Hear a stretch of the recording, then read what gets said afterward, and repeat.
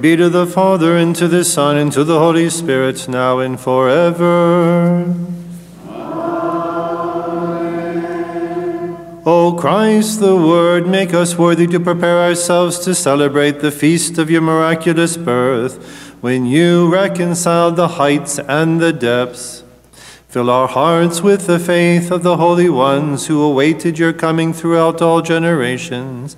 May your love and peace reign in us, that we may glorify you, your Father, and your Holy Spirit forever. Peace be with the church and her children.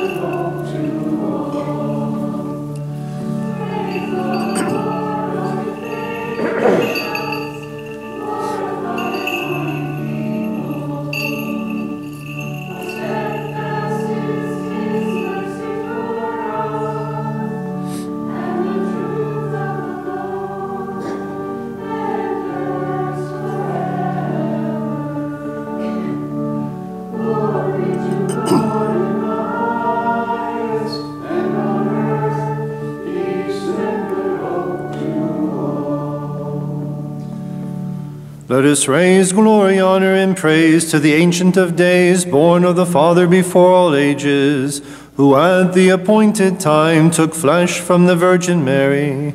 By his birth he fulfilled the revelation of the Holy Spirit, spoken by the prophets. To the Good One be glory and honor on this feast and all the days of our lives and forever.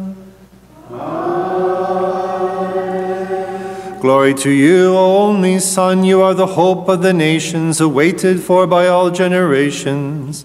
You are without beginning or end, yet at the appointed time you chose to be born as a child. You are the great and mighty one, yet you became man without any change to your divinity. You enriched creation, and yet you have become poor, and your mother sang spiritual songs to you as she carried you in her arms. O child, O ancient of days, wrapped in swaddling clothes, the shepherds of Bethlehem and the Magi from the east came to worship you, and the angels gathered to sing to you. Glory to God in the highest, and on earth peace. The church throughout the earth prepares for your birth with joy and gladness. Now, O Lord, we ask you at the fragrance of this incense to let the light of your face shine upon us, as it shined in glory upon the shepherds. Fill our hearts with perfect joy and give us an understanding of the mystery of your plan of salvation. With all who have prepared to welcome your feast, we praise, glorify, and thank you, your Father and your Holy Spirit, forever.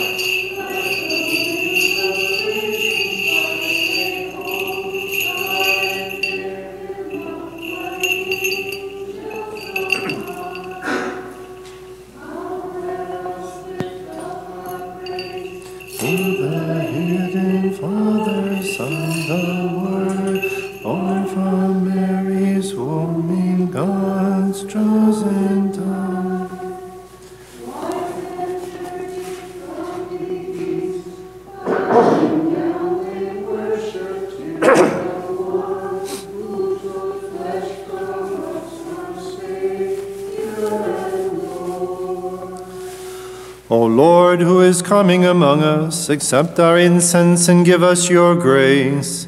Protect your flock that awaits your coming and prepares for your birth. Have mercy on us and upon our departed, that we may be worthy to enter into your kingdom and raise glory and thanks to you forever.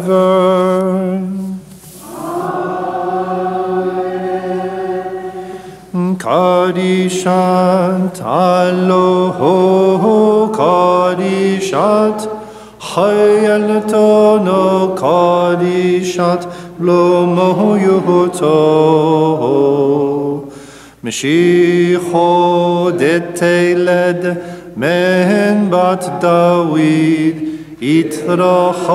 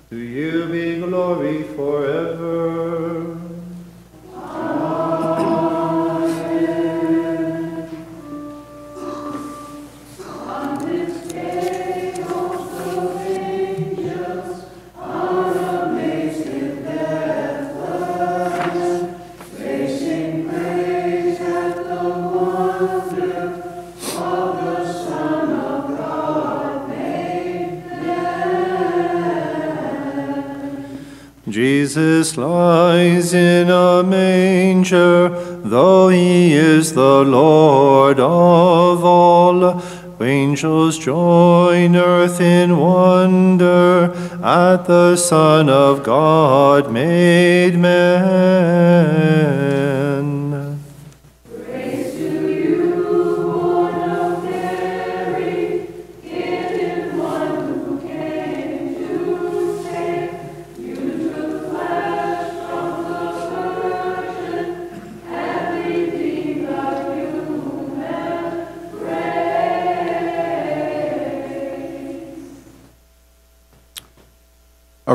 from the letter of St. Paul to the Romans. Glory to the Lord of Paul and the apostles. May the mercy of God descend upon the reader, the listeners, and upon this parish, and her children forever. Paul, a slave of Christ Jesus, called to be an apostle and set apart from the gospel of God, which he promised previously through his prophets in the Holy Scriptures, the gospel about his Son, descended from David according to the flesh, but established as Son of God in power according to the Spirit of holiness, through resurrection from the dead, Jesus Christ, our Lord. Through him, we have received the grace of apostleship to bring about the obedience of faith for all sake of his name among all the Gentiles, among whom you are also, who are called to belong to Jesus Christ, to all the beloved of God in Rome, called to be holy. Grace to you and peace from God our Father and the Lord Jesus Christ. First, I give thanks to my God through Jesus Christ for all of you because your faith is heralded throughout the world. God is my witness, who I serve with my spirit in proclaiming the gospel of his Son, that I remember you constantly, always asking in my prayers that somehow, by God's will, I may at last find my way clear to come to you. For I long to see you, that I may share with you some spiritual gift, so that you may be strengthened. That is, so you and I may be mutually encouraged by one another's faith, yours and mine. Praise be to God always.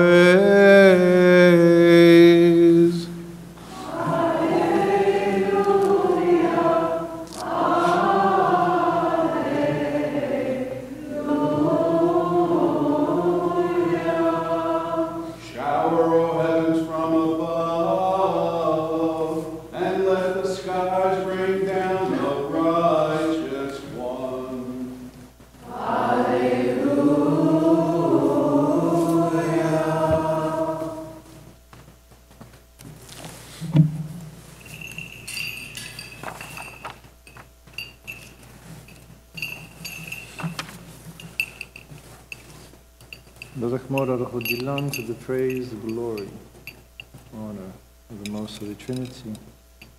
Burn this incense. Kyrie eleison. Before the proclamation of the gospel of our Savior, announcing life for our souls, we offer this incense and ask for your mercy, O Lord.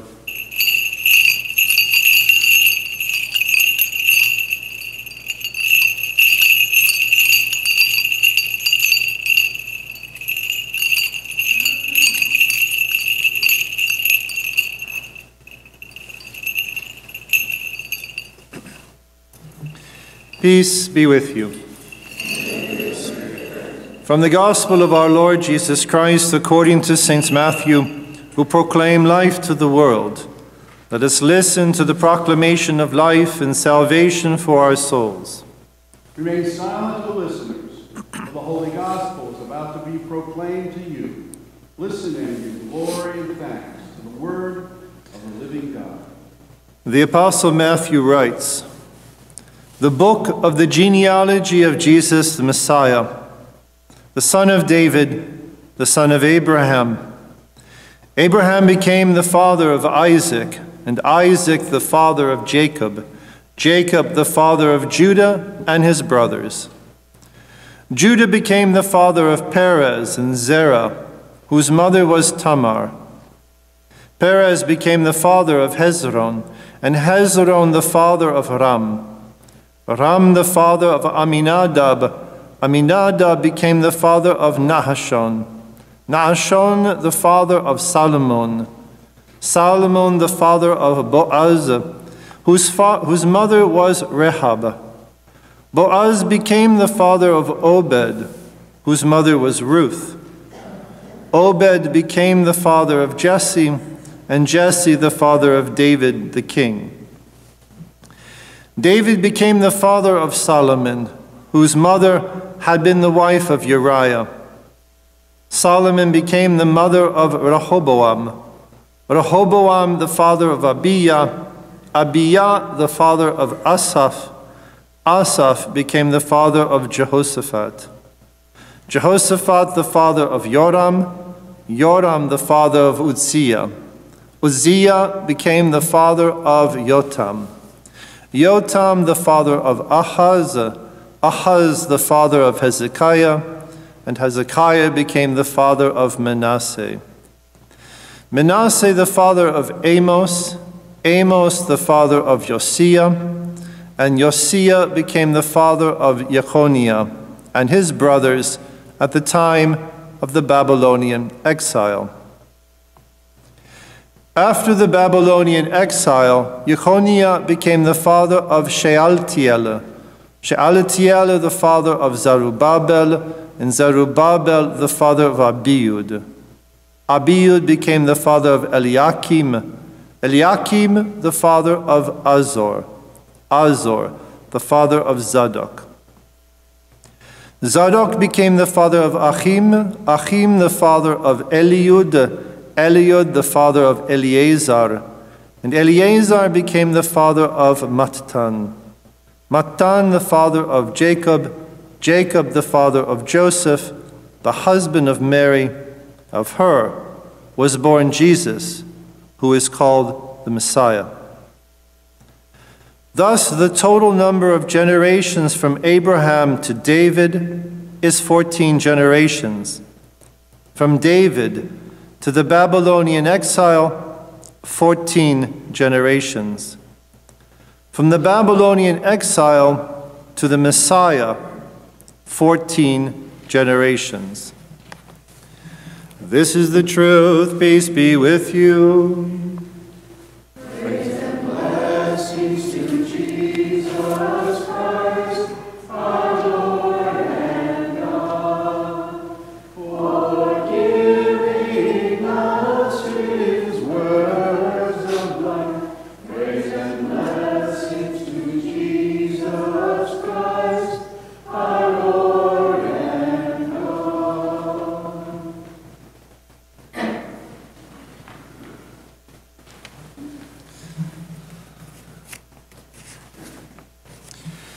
Jacob became the father of Joseph, the husband of Mary.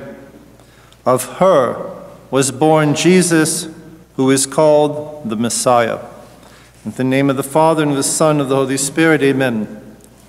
Now, when we celebrate Christmas and the Nativity, so often it's portrayed that we're just celebrating the birthday of our Lord. But it's much more than that. This isn't just the celebration of a baby coming into the world.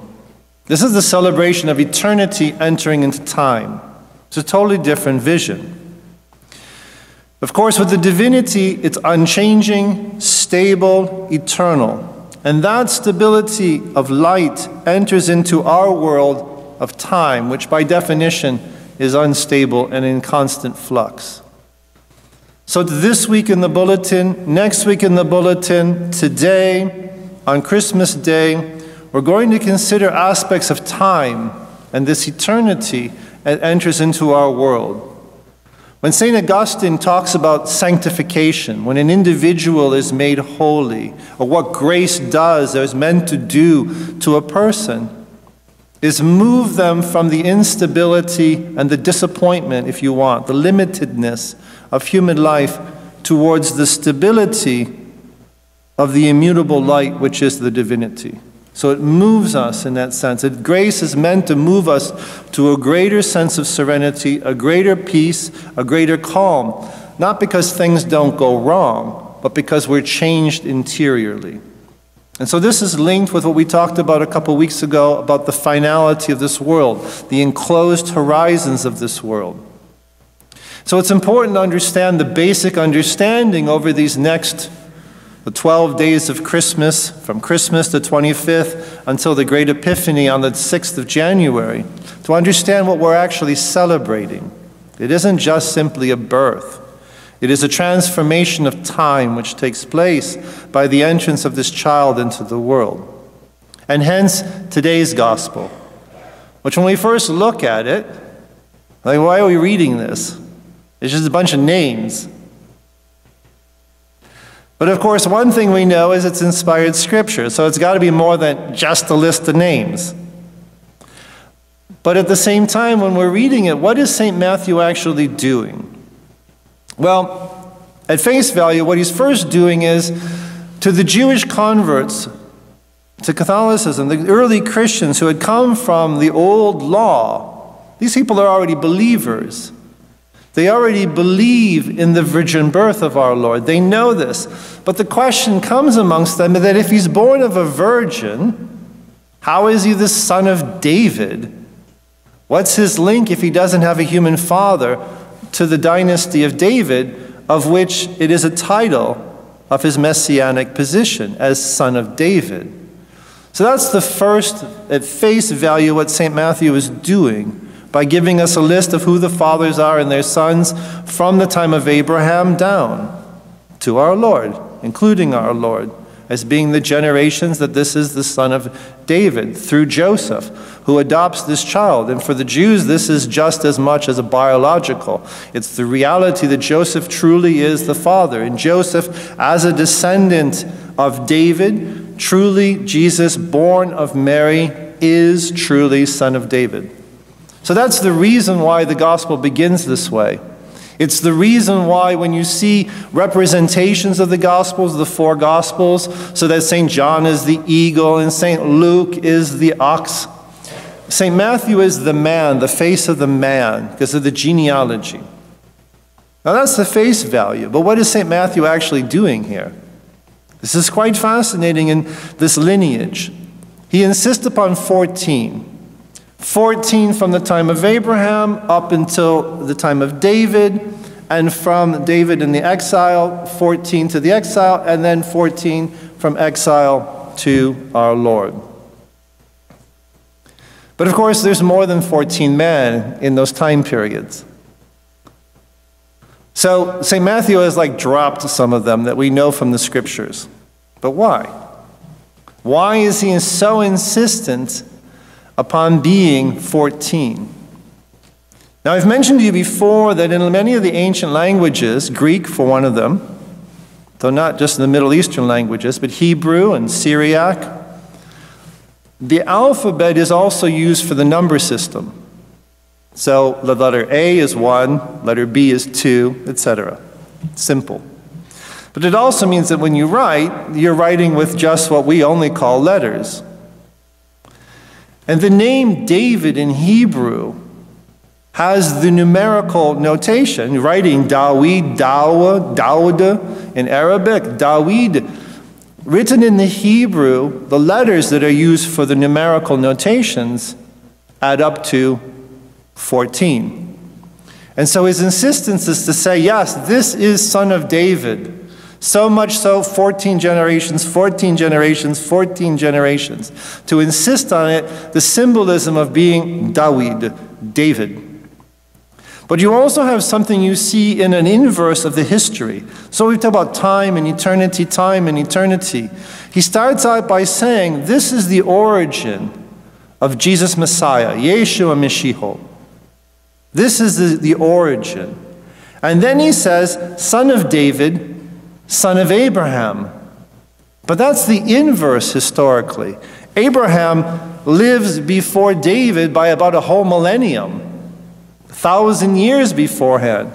And yet he lists him by saying, son of David, son of Abraham. Instead of son of Abraham, son of David, son of David, the Messiah.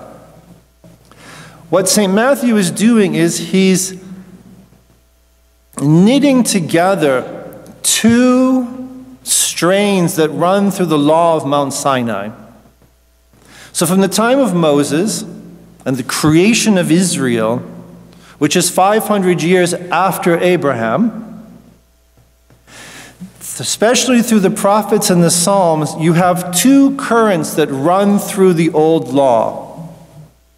One of them being the very nationalistic vision of Israel, chosen, necessarily being educated and guided by God, the Exodus and everything. And that's very much part of the old law. And after the Babylonian captivity, the prophets were even more insistent. Look, you've been doing this disastrously for the last 1200 years. You have definitely got to form a wall around you, protect yourselves, be truly faithful to the Lord God. And out of that attitude develops the movement of Pharisees. And we have to think of Pharisees as being good people originally. We read the Gospels. When we hear the word Pharisee, it makes you kind of cringe because we're Christians. But the Pharisees are actually highly respected and very good, zealous individuals in general. But also in the prophets and the Psalms it's clear that someone is to come like Moses, but who is the hope of the nations. This is larger than just Israel. This is a universalistic vision for the whole of humanity. And this is the connection with Abraham. Abraham, who lives a thousand years before David. Abraham, who lives 500 years before this formation of the people of Israel on Mount Sinai. And Abraham, of course, his name is originally Abram, Abbo, father. God changes his name to Abraham. a father of nations, plural. In Abraham already has this promise of a universalistic aspect of the work of redemption. It becomes narrowed down because God forms a people in Israel. But the promises were made centuries before the formation of Israel at Mount Sinai of a universalistic. So the prophets pick up that universalism again. So the entrance of eternity into time shatters the history of the world. Our calendar to this date is redeveloped because of the appearance of this child in Bethlehem. A few years ago, just over a decade, when I was, I had the good fortune of being able to visit Tibet. And the young 24 year old handler that I had, technically he was the guide, but you can't go to Tibet without having a handler for the communist government. The kid was really charming, though, it was great. But as he's just a Tibetan Buddhist, and he didn't know his Buddhism very well either, so, in any case. So we talked about Buddhism, we talked about Christianity, and I had all these people who came up to my chest throughout Tibet staring at me nonstop because in China it's not rude to stare. People who almost fell over because they were walking backwards through the marketplaces of Lhasa, trying to stare at this, as they told me, this Christian Lama. And they were really impressed because, one, you're also like twice as tall as the rest of us. But as I'm talking to him, he says, Is Christianity old? And I said, Old. I said, um, 2005 years? And he just looked at me confused. I said, You have no idea that the calendar is calculated according to the entrance of Christ into the world. And he was fascinated by this. We sat on the steps of the Potala Palace of the Dalai Lama talking about Christian calendar of entrance of eternity into time. But that's just a that's an anecdote. But what happens to Israel? And when you read the gospel, you see our Lord. What's he dealing with? He deals with Pharisees, he deals with scribes, he deals with Sadducees, he deals with Herodians. And we also know about Essenes. There's all these different schools of interpretation of the law of Moses. And when eternity enters time, it shatters open that world. And what you know as Judaism today is just as much a creature of the coming of the Messiah as the Catholic Church that you belong to. They come out of the tradition of the synagogal, rabbinical, pharisaical movement, but they are still, as they exist today, a creature, a development of the coming of the Messiah. But of course, what differentiates the Christian church and modern day Judaism is we define ourselves in accepting him as the Messiah, and they define themselves in rejection of him as the Messiah. But we forget that both of these, as we know them, it's why if you read scholarly works, they'll say, we don't know how the last, we don't know how the Last Supper exactly went because we don't know exactly how the Passover services went at the time of our Lord. We have obviously the way modern Jews do the Passover, but we don't know that that is the way that it was done back, especially with all these interpretations. It's one of the reasons why our Lord celebrates the Last Supper, Passover, on what's on the calendar Thursday night. And then St. John in his gospel tells us no, the temple is offering the Passover on Friday night. Eternity enters into time and it shatters open the human world. And out of that, some of the people of Israel define themselves in opposition to Jesus of Nazareth. He's not the Messiah. And the other ones finally say, Thanks be to God, the Messiah that was promised for this time has come. So, this shattering, so what St. Matthew is doing is he's bringing together the universalistic aspect of redemption and the nationalistic sentiment of Israel, and he's weaving them together in this gospel of these 17 lines. And that to leave you with what I want to point out is the universalistic aspect. You have the name of four women in this list. Now we're talking about the son of David. Matthew could have just listed all of the fathers, but he purposely lists four women. And these women are great. You're going to love this. First of all, three of the four women are not even of Israel. They're foreigners.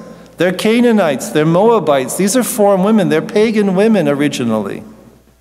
They're brought into the line of the lineage of the king of David.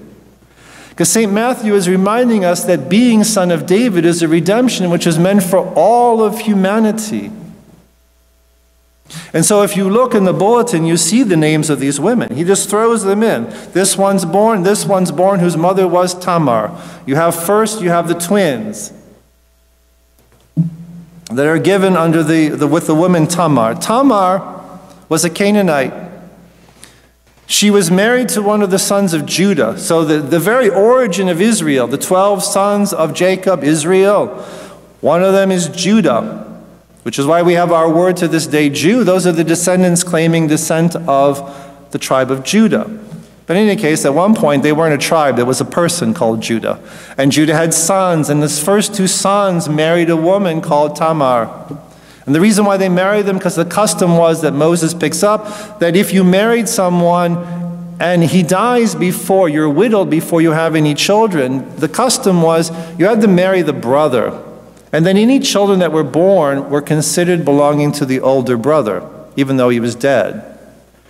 And so Tamar is a Canaanite woman. She's brought in. She's married to one of Jacob's, uh, one of Judah's sons, and the boy dies. The young man dies, and there's no children. So she marries the second one.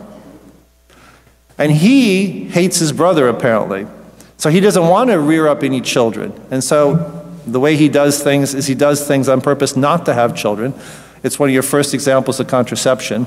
And God is enraged with him, and so he dies.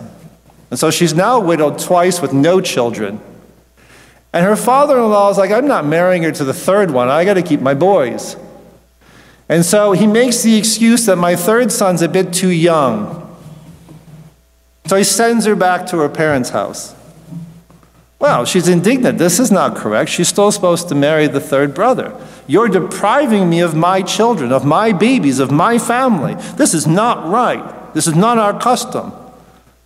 So Judah just simply ignores her. She's gone, she's good, whatever. And later on, the third brother, of course, is certainly old enough to be married, and he still just ignored Tamar. So Tamar, you'll love the story because she basically disguises herself and seduces her father in law so she can have children. So, Nothing like excitement in the Old Testament. But Judah recognized that he had been unjust to her. I mean, you know, we flip out because it's her father in law. But the fact is, is that in the story, he recognizes that she is more just than he was.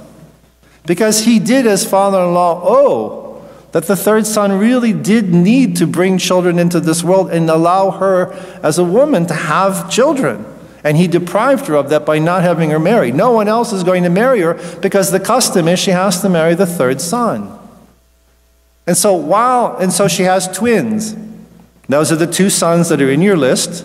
And of course Perez becomes the lineage which becomes, you know, descendants towards David. So she's a Canaanite. She's not even part of the people of Israel. She becomes part of that people.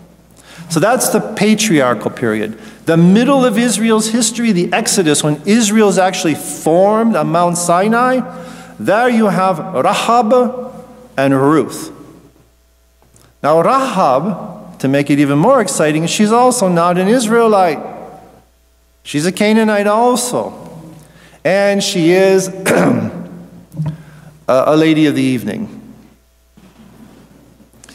And when Joshua, before they crossed the river Jordan to come in to take the promised land, because they've been punished for 40 years because they screwed up their time in the previous generation, whole long story. And now it's time to finally let the grandchildren and the children come in because all the people from that had left Egypt are now dead, which is what God wanted.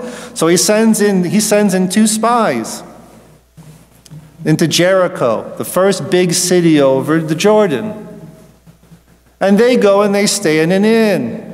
Well, inns have rooms for rent, and they also rent other things in inns. And so they stay there. You kind of have a combination between, you know, mm, uh, brothel and inn and soldiers coming. So, you know, it all kind of fits together in the classic story of human stories. And Rahab, for some reason, she also takes a liking to them. and she protects them. She makes sure that they finish their espionage well and then helps them get out. And she says, I know that God has given our city to you and your people. So when you come back, please remember me. So that's how Rahab not only saves her life when Jericho is taken, she winds up marrying one of these men. And so you have someone outside with a less than, you know, stellar professional reputation being grafted into the lineage of David because, of course, God is here for the salvation of all. And then a Ruth is the very next generation. She's a Moabite. She's also she's not a Canaanite, but she's also not of Israel. And she, as a widow, is taken in, she's married, and so she also is engrafted in. And then we come to Bathsheba, and that story we've talked about. Bathsheba is the neighbor of David. She's a beautiful lady. She's married to one of the major officers in the, of the army of Israel, and David thinks she's just a knockout. He's king. He already has a couple, a number of wives, but that's all right. He can always add another one on. He can afford it. And while Uriah's off fighting David's wars, David has her invited over for tea. And when Bathsheba writes back, she's complicit in this too. This isn't, she's dominated by this man because he's king. She's complicit in this, and she contacts him later on and says, um, I'm expecting a baby. My husband's at war right now, so we're going to have to explain this. So, what David does is he goes from bad to worse, which is often what we do in the world of sin, right? We just figure out how we cover our tracks. One lie makes for another lie, and then we just keep spinning ourselves deeper and tying ourselves up. Well, Bathsheba is part of this. Uriah winds up being invited back from the front. David tries to trick him into going and visiting his wife, and then we'll say, See, it's his baby. But Uriah is a very dignified and noble man, and as long as his soldiers are in the trenches, he is not going to go home and enjoy a nice cooked meal and an evening with his wife. So he sleeps with the servants of the palace. He never goes back to his wife's house. So that doesn't work. Sends him back to the battle. In fact, he has to go two days. The second day, he even has him come to dinner at the palace, makes him drunk, and says, Now go home to your wife. And he still goes down and he sleeps with the servants of the palace and never goes back to his wife's house. Didn't work. So then, what David does, a lie following a lie, digging ourselves deeper, David then sends an order to have Uriah take this officer, you put him on the front line, and you put him where the battle is worse the worst place possible. And obviously, Uriah is then killed in battle, which means that Bathsheba is a widow and she's free. Now, so this, she's part of this whole scene. And David's conversion, it's a whole long story, but his conversion, realizing what he's done, not because he's a good, not because he's, you know, a prayerful man, but because the prophet comes and tells him exactly what he did. His repentance is Psalm 51. Go home and read it. Look up Psalm 51. That hymn is the result of his conversion. And Bathsheba, that baby that was conceived out of adultery and murder, died. But her next son that was born was Solomon. David and Solomon, two of the greatest line kings in all of the history of the Old Testament. So you have Solomon.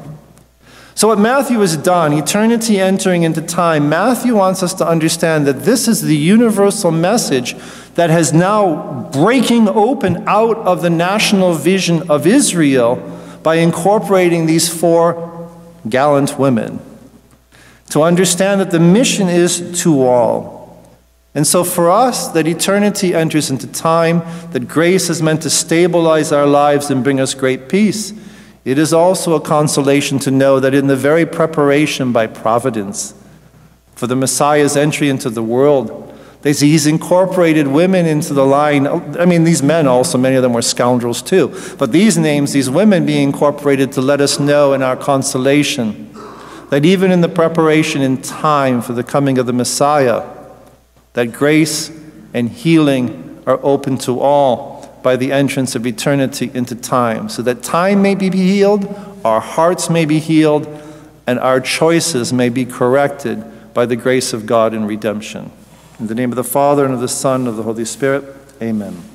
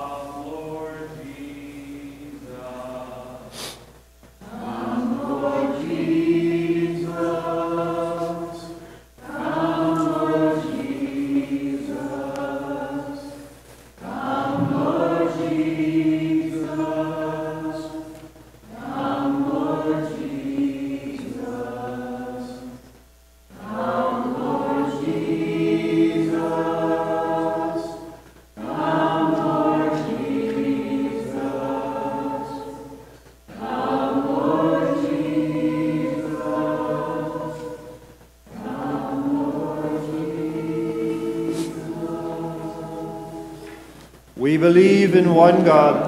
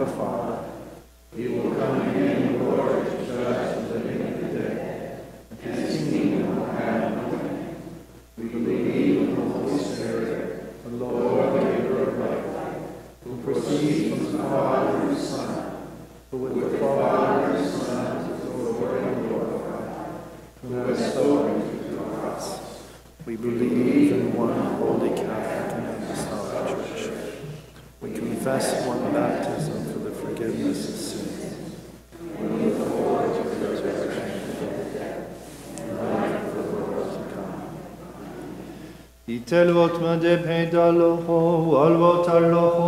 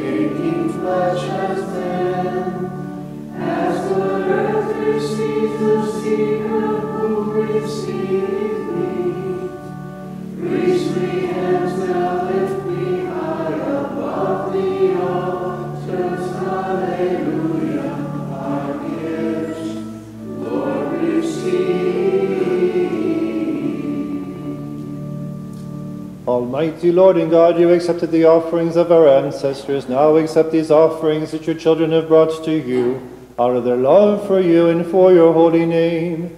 Shower your spiritual blessings upon them, and in place of their earthly gifts, grant them life and your imperishable kingdom. As we remember our Lord God and Savior Jesus Christ and his plan of salvation for us, we recall upon this offering all those who have pleased God from Adam to this day, especially Mary, the Blessed Mother of God, Saint Mary, Saint Jude, and Saint Thecla. Remember, O God, the children of the Holy Church, our fathers and mothers, and our brothers and sisters, both the living and the departed, especially those for whom this sacrifice is offered, for the intentions of all the members of this parish. Remember also all those who share with us today in this offering.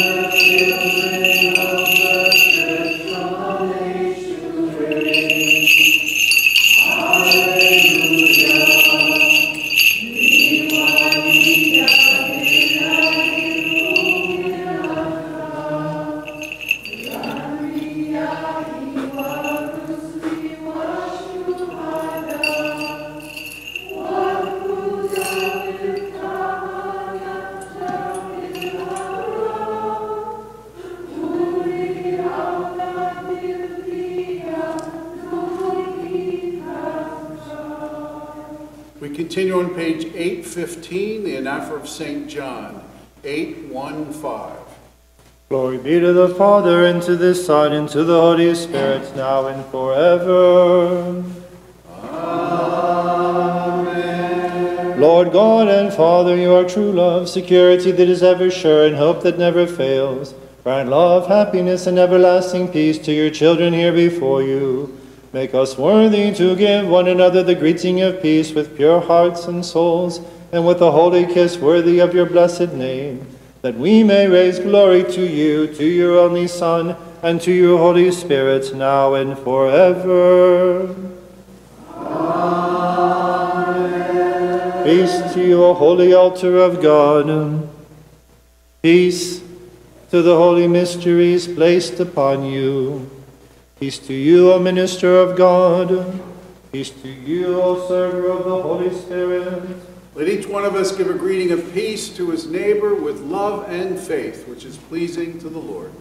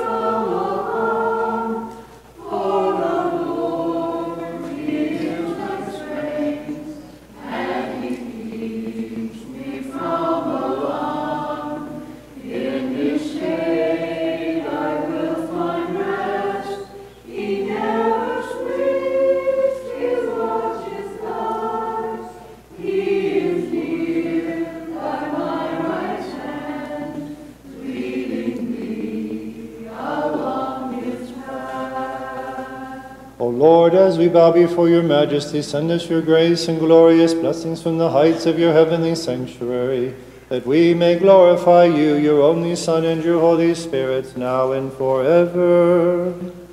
Amen.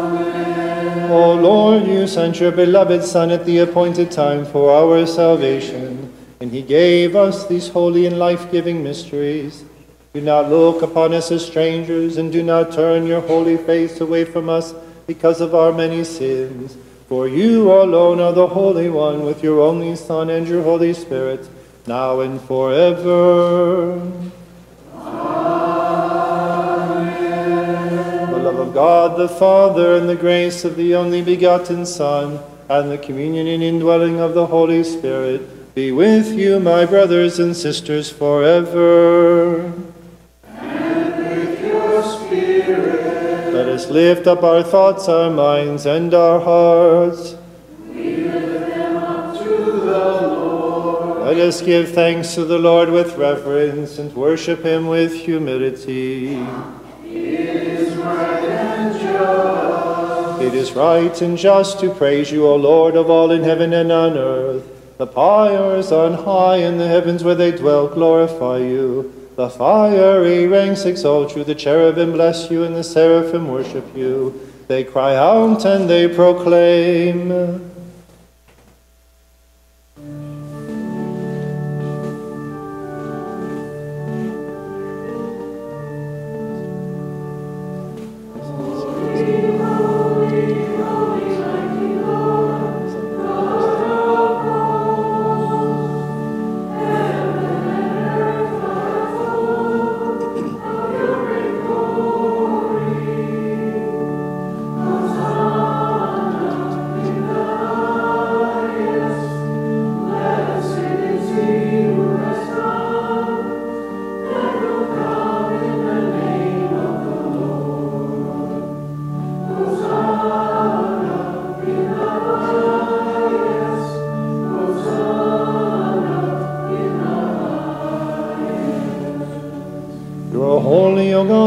Father, with your only Son and your Holy Spirit, one and indivisible in nature, and you sanctify all things by your divine power.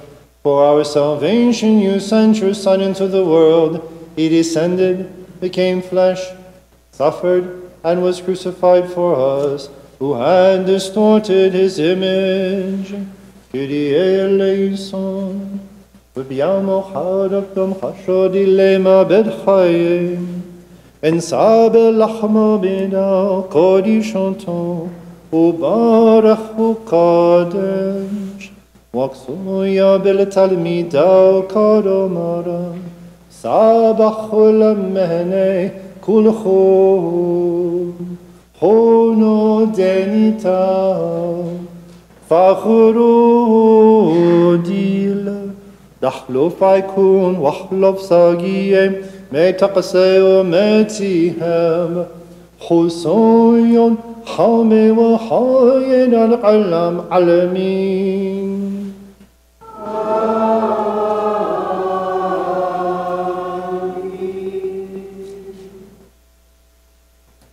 حقنا الكس دمزه من حمره من مايو بارخ قادش. ويابل تلميذه قادو مارا صعب اشتاو مهني كل خون خونو دنيتاو دموهن ديل ديانتي كي خداتو دخلو فايكون وخلوف ساقية مكتشدو متيهب خصويا حومي وخاينا علم علمين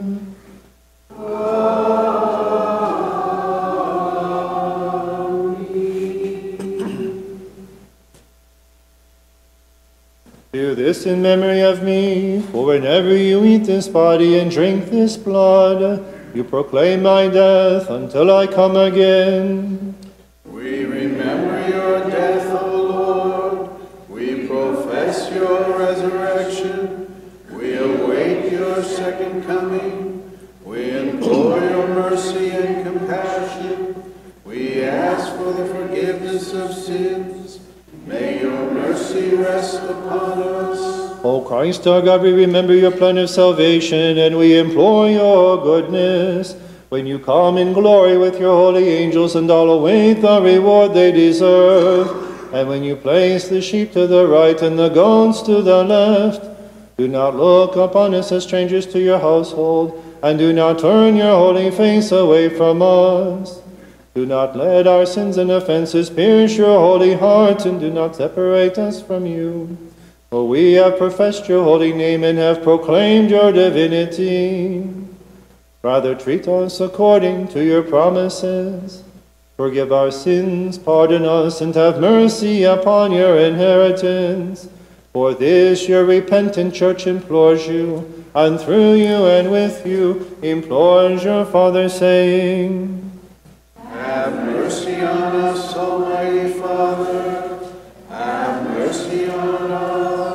Lord, as we, your sinful children, receive your graces, we thank you for them and because of them. We praise you, we bless you, we adore you, we glorify you. We profess our faith in you and we ask you, have compassion on us, O God. Have mercy on us and hear us. How awesome is this moment, O my beloved, for the living Holy Spirit descends and rests upon this offering for our sanctification. Let us stand with reverence as we pray. Adin monio, anin monio, anin monio, nite morrocho chayo kadisho, unachen alainu al korbono hono.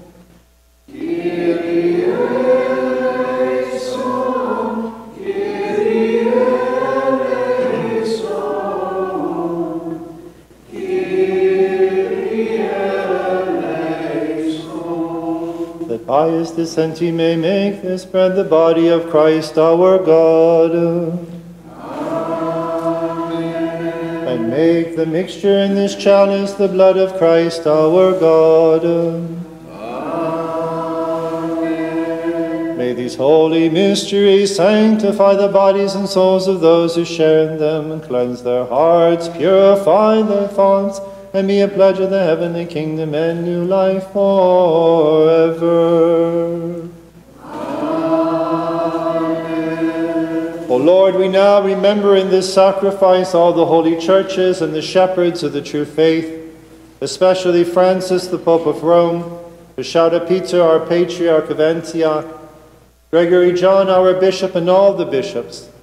With them we remember the priests, the deacons, and all who serve your holy church. We pray to you, O Lord. Lord, have mercy.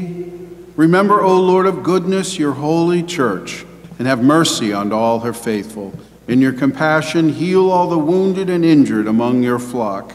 Punish injustice and strengthen all our brothers and sisters. Bestow the grace of conversion on all. With your indestructible power, strengthen the bishops of the true faith, that they may be upright and courageous in their apostolic office. May they show fidelity as they stand ever before your eternal justice. Unto your honor and glory, may they prove themselves upright, dauntless, and persevering in the task confided to them. To lead all the faithful into the fullness of your redeeming light and glory. We pray to you, O Lord.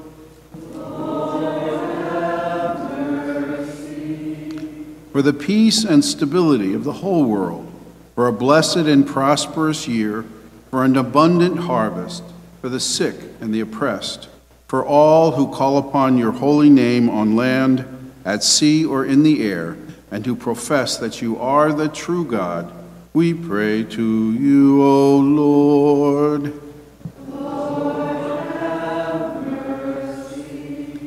Remember, O Lord, those who have presented the offerings upon this altar, and those who were desired to do so but were unable, and grant them their petitions. We pray to you, O Lord.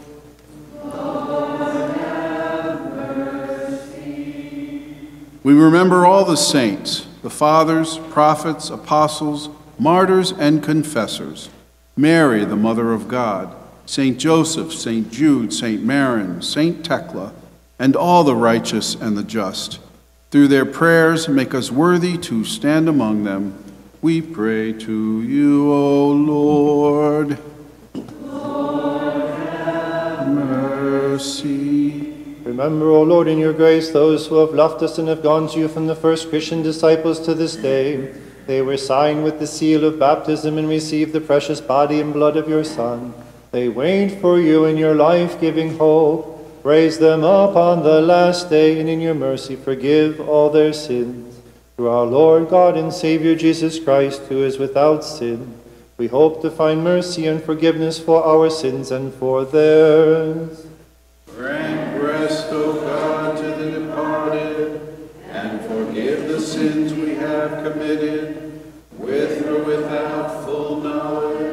Grant us pardon, O God, and forgive us and the departed, so that your blessed name may be glorified in us and in all things, with the name of our Lord Jesus Christ and of your living Holy Spirit, now and forever. As it was, is now, and shall be forever.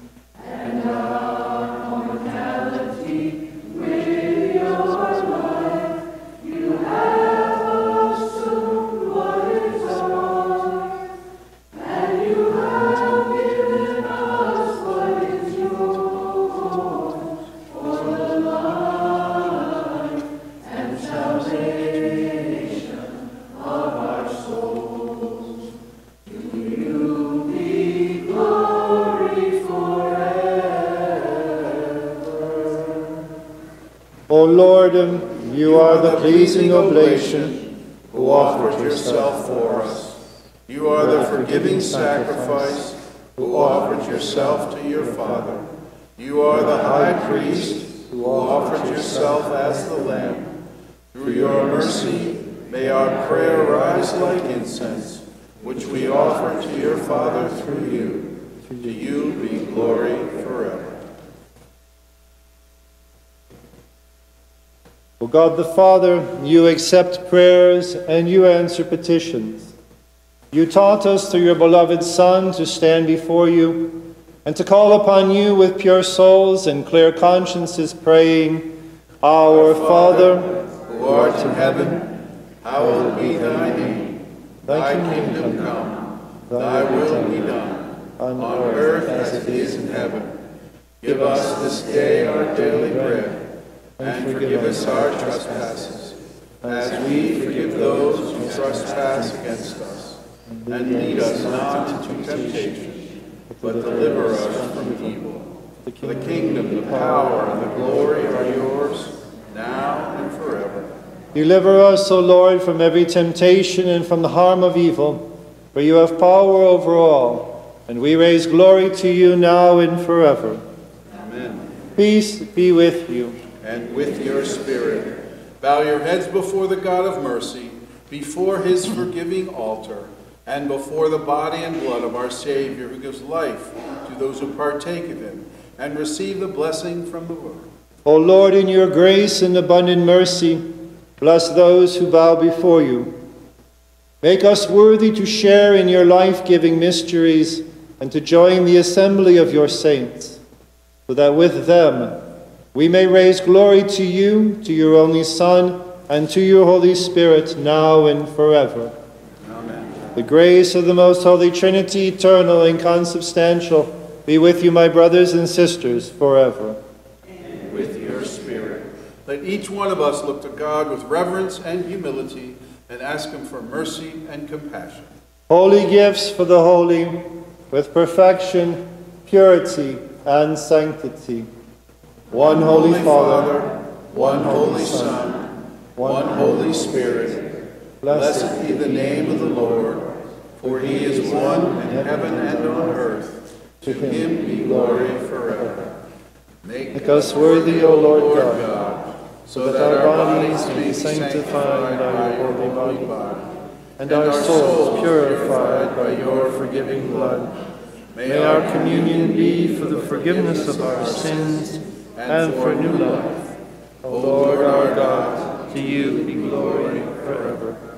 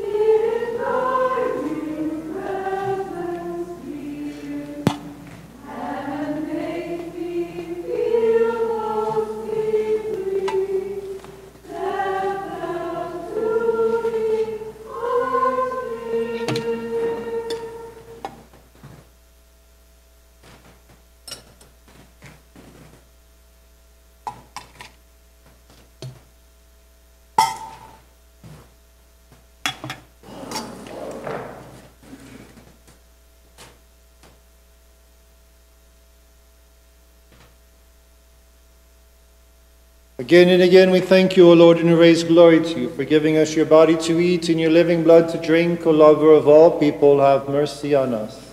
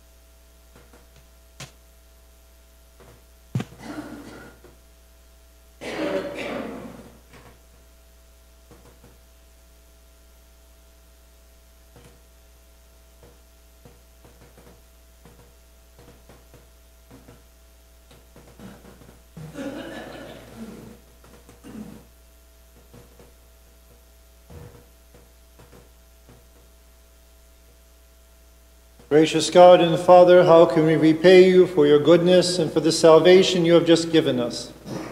Who can give you the glory you truly deserve? In our weakness and insofar as we are able, we worship, praise, and thank you, your only Son and your Holy Spirit, now and forever. Peace be with you. Jesus Christ, our God, we worship, thank, and praise you. We implore your goodness and abundant mercy for the salvation of the whole world, for the protection of the living and eternal rest to the departed, for the feeding of the hungry and the support of the needy, for the visiting of the sick and the consolation of the grieving. For your grace, dwell in them, and by your abundant mercy, give them life. By your holy cross, bless your people and protect your inheritance. Adoration is due to you to your Father, and to your holy and life giving Spirit, now and forever. so we'd like to take this moment to welcome all of our guests who are here at Mass today. There are booklets in the pews in front of you. In fact, everyone can do this if you wish. on the Maronite Church. You're more than welcome to take them with you. It gives you information on the Maronites. And even for our own Maronites, take them with you if you need to explain more to your friends. But in any case, you're more than welcome to take as many as you wish. And I wish you the last ends of these graces as we prepare for the Holy Nativity. Go in peace, my beloved brothers and sisters, with the nourishment and blessings you have received from the forgiving altar of the Lord. May the blessing of the Most Holy Trinity accompany you, the Father, and the Son, and the Holy Spirit, the one God, to whom be glory forever.